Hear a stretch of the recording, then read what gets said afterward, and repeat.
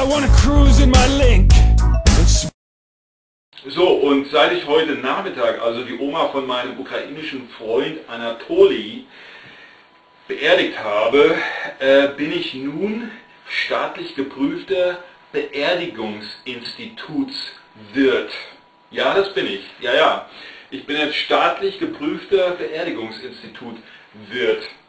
Ähm, so, aber, pass mal auf, ähm, ich bin ja jemand, ich bin ja jemand, der, der sehr viel von Ausbildung äh, hält. Ja?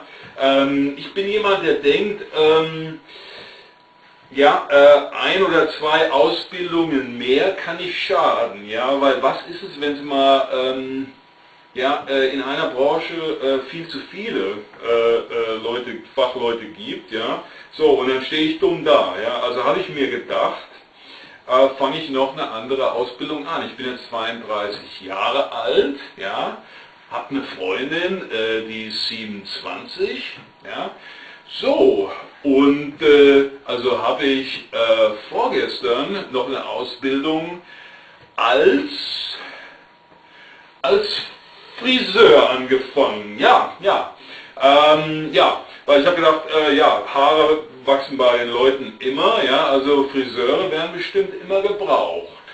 So, also vorgestern habe ich dann noch eine Ausbildung als Friseur angefangen. So, und am ersten Tag, ähm, also vorgestern, am ersten Tag meiner Ausbildung durfte ich im Friseursalon dann gleich ähm, zwei Kanarienvögeln die Haare mit Shampoo waschen. Ja, ja. Ja, ja.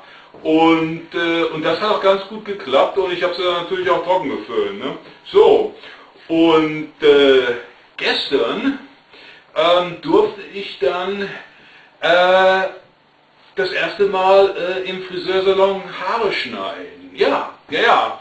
Und, äh, und zwar äh, durfte ich ähm, als Lehrling ja, ähm, gestern dann einem Wellensittich die Haare schneiden. Ja, ja, ja.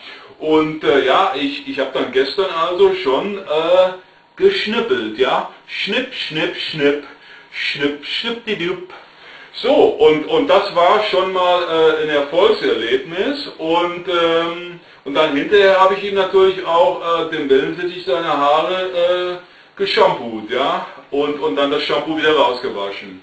So, und heute Morgen, heute Morgen durfte ich dann in meiner Ausbildung zum Friseur, ja, und dann natürlich auch Friseurmeister, ja, hoffe ich bald zu werden, ähm, durfte ich heute die ersten menschlichen Haare schneiden. Ja, ja, ja, heute Morgen.